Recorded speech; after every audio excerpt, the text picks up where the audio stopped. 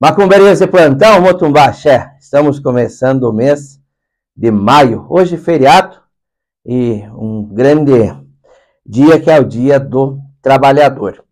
Primeiramente eu quero agradecer a todos que vêm ajudando nós na reforma do terreiro, na ampliação da sala de atendimento, a todas as pessoas que estão colaborando com todos nós, né?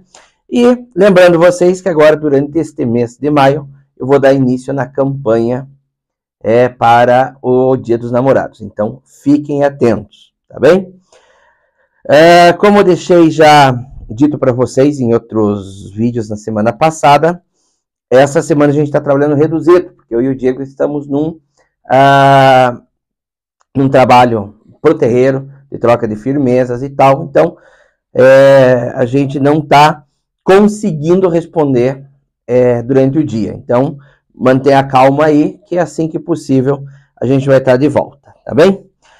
Ah, nessa último mês que passou, 23 de abril, as pessoas saudaram grandiosamente Ogum.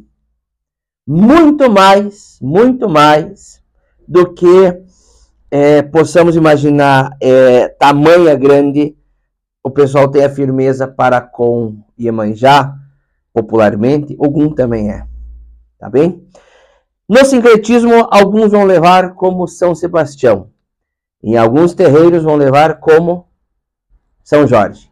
Alguns terreiros vão tratar ele em vermelho, outros na cor azul. Hoje, que é o Dia do Trabalhador, um dia muito importante, eu gostaria que vocês fizessem uma firmeza para começar o mês na casa de vocês. Você mesmo vai fazer uma firmeza. Bem simples, tá? Para abrir esse mês com proteção para o teu trabalho, para o teu emprego, para o teu marido, para o teu esposo, para a pessoa que te acompanha no teu, é, na caminhada tua aí.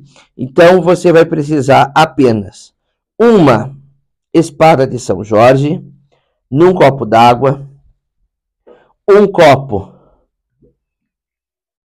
com cerveja, não importa qual seja a cerveja, e vai acender uma vela para Ogum.